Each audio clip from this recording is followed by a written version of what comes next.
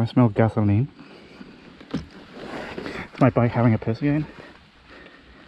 Uh, no. Okay. Welcome back, everyone. This week uh, we're at Baxter.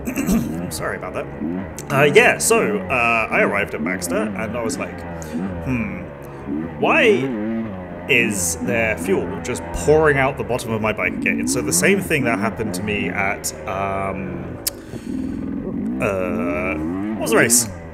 The Beagle Bash. So at the at the start of the Beagle Bash, it seems my float got stuck open, and my float got stuck open again today. Now, I have a sneaky suspicion that the float didn't get stuck open today and got stuck open during the RJ's race because I did think it was a little strange how I hit my reserve on the at the end of the fourth lap, and then I I was just thinking about it um, when this happened, and I was like, huh. Four laps? That's only uh, four times uh, 14, which is uh, 48, no, 56. That's not that many, um, that's not that very many, uh, that's not very many kilometers. Oh, Jesus. I should probably get rid of that log. yeah, so 56 kilometers is, is really not that far, so there's no reason why I should have run out of fuel, so I think it got s- stuck open much earlier. Yeah, Just doing my uh, good day, good good deed, because there's other people here today, even though it's been pissing with rain. Um, and it's you can see it's, it's very wet and still raining. I thought I should move that before someone crashes. Oh, pardon me. Dear, it wasn't even my dinner. Actually, it probably was my lunch because I got there at about uh, just before 12 and I was like, oh, it's still raining. I'm just going to eat my lunch now and then I'll go for a ride. Um, anyway, yeah, so my float got stuck open, so I had to like whack it again with the with the spanner and um, and then it stopped shortly after.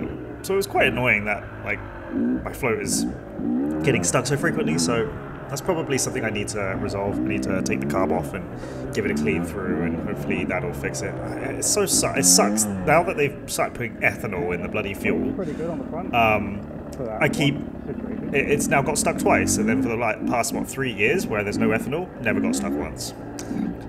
Of course. Anyway, so I'm at Baxter today. Sorry about my little rant. Anyway, I'm at Baxter, and um, I wanted to practice um, braking a little harder. I put a new front tire on because I think I got about 70 hours on out of the Starcross, and I'm like, eh, I, I got a, um, a Duro Medium. I want to put that back on. It's good in the wet, and the uh, Starcross is starting to look a little circular. so I've been practicing going along and then just braking hard. Uh, it's a little slippery and I'm still quite apprehensive. I've just started practicing in this area. And one other thing I also started doing was I, I've cut a lot of the footage out. Actually, I didn't even record a lot of the footage because it's just me going around and around in circles and coming along here and then just braking hard with my front. Well, I say braking hard, like I get to about 40, 45 and I brake and see what it feels like. And then I, I like go back through here. And what else I was doing was I was twiddling with the compression and rebound and um, I know Baxter's super, super smooth. There's no difficulty to this trail. It's very, very luxuriously smooth. But I was like, oh, I'm just going to keep going around and practicing. And I was practicing a lot of braking. And I was thinking, oh, it's diving kind of hard when I um, when I um, try and brake hard. Maybe I don't brake hard because, or I'm scared to brake. It was pretty good that one. I'm getting like I'm scared and it dives a little bit and I'm not confident. So I've been practicing for like about an hour about half an hour, sorry, at that point, just going round and round and round and just braking hard. And um, I upped the rebound and upped the compression, and I was thinking, like, this is this is feeling pretty good. I also bumped into um, a few people. There was a, a, uh three Polish fellas. Um, I met them before. I think their names were Chris, Tom, and Mike. Sorry if I got your names wrong. Even if you, I don't even know if you watch these videos, you almost certainly don't. But just in case, if I ever do, they, they were very, very nice and uh, had a good, good chat in the car park and uh, and out on the trails. So it was really cool. I, I've met Chris before on the trails. Uh, they're, they're really cool fellas, they live very local, so they're always at this um, trail system, which is why I've bumped into them before. Um, but yeah, so I, I've currently now got my suspension at 15 and 15 for compression and rebound, um, and for Baxter it feels really good. Um, what little bumps are here, it soaks up really nicely. And my aim for this now was I've been practicing the braking and turning uh, quite a bit, and I wanted to try a couple of things. So I've been practicing just using my front brake, having listened to what Fox said, um, and like trying to like race a little harder and then brake a little harder, just using the front. Um, and I wasn't practicing it at this point, but I spent a little bit of time later on where I was just like riding along and then braking with the rear to try and get it to turn. But I don't think I was ever like I only really had success when I was going faster, like about 30 kilometers per hour, and then you brake a little bit and hit the rear, and then the, the rear would turn. So I wanted to try and get like half the turn done just using the rear before like finishing the turn, but I think that needs a lot of practice. I wasn't, I, I, I, even even with my practice, I don't feel hugely successful with it. Um, as you can see, it's still raining, um, but I was having. I think the grip wasn't so bad. I'm, I'm, i was also the second thing I was also practicing was sitting a lot further forward. So, um, like, so you can see right now I'm sat and I'm basically sat on the front of the bike. This is, I think this is, I can't tell if I'm sitting or standing anymore. I'm so far forward, I can't tell. I think I might be standing. But th there are times where I was trying to sit like right on the front, right at the front of the fuel tank, um, to see if that helped make any difference, and probably did. I feel like it did, but I was also just trying to be in a more aggressive attack position as well while standing. Sorry, there's water on the lens. Like, it's so wet today. Um, it's, it's, just pouring constantly. All the trees and everything are soaking wet. But the trail is actually in quite good shape, I would say. Um, there was a few sick places, but for the most part, I just felt like I had really, really good traction. Traction. I wouldn't say it's like hero dirt, but it was it was it was still decent. Maybe like if a lot of people had been riding and it would have been all chewed up and kind of shitty to ride in, but I wasn't particularly worried. Um, but unfortunately, there was just water everywhere and it was getting on the cameras and stuff. Um, yeah, so I was trying the sit on the seat, sit as far forward on the seat as possible. So I was practicing that and it, like to try and like whip through things. And um, and I was also wanting to practice with the front brake, and I also fiddled with my suspension a lot more to try and make it feel good. I think I may have hit like a that like oh, that jump doesn't get old. It's so much fun. Um, I think I might have hit like an equilibrium at one point. I think I was doing about like 25 through one of the these kind of bits. It was kind of dark, um, and it felt like the bike was dead. Um, but I was moving, so it kind of felt like I was on the road, like I was driving the car up, because uh, I just felt nothing. I didn't feel the vibrations. I couldn't feel anything. Was, the bike was so smooth. I was like, oh my god, is this, is this the goal? Is this what you're trying to hit? when you're um, riding. Obviously, I know, of course, Baxter's super smooth.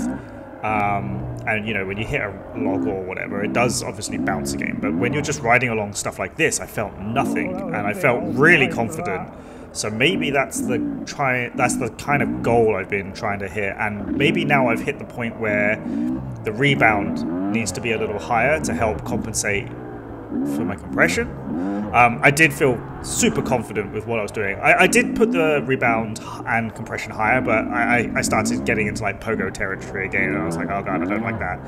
Not fast enough or confident enough for that, uh, because I, I think it's like, like another five clicks. So I think in this super smooth stuff, 15-15 is good for me now. Maybe if it was dry or like a bit more hero dirt and I get a bit more confident, I'd put it up. But it's it's good to know that you know, with the, the new valves and stuff that um, Langs did, about 15-15 feels really good, like almost perfect. Um, I, I, couldn't believe the feeling. It felt like uh, Lucas's bike, and he's had a lot of work done to his, and his feels like that all the time. but, you know, his suspension cost a lot more, uh, and he put a lot more money and time into it than I have. Um, and it seems that I've managed to uh, maybe briefly achieve the same feeling. I was like, oh, okay, I see now. I, I need to practice a bit more so I can retain this feeling.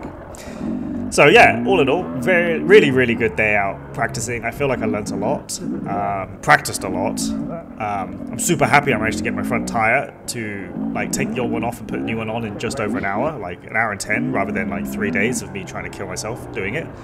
Um, yeah, very, very happy with how the bike was running, other than the fact that the bloody float got stuck open. I, I'm, I'm not impressed by that. I, I blame the fuel companies. I don't blame Beta. I blame the fucking fuel companies with their shitty ethanol.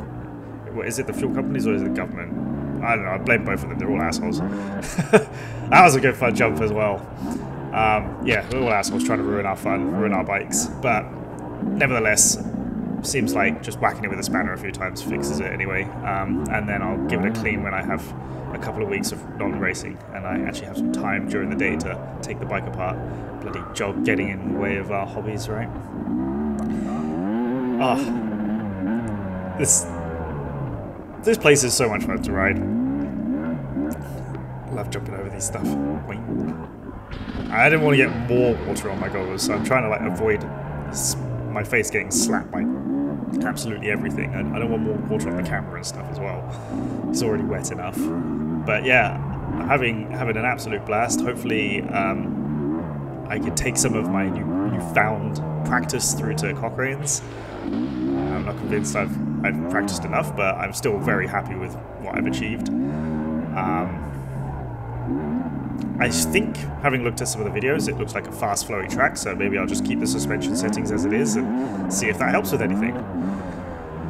But yeah, all in all, a, a good day out practicing. Um, back to the races this week, and yeah, hopefully see you all there. Ugh, almost crashed. Alright, I think that'll do for this video. See ya.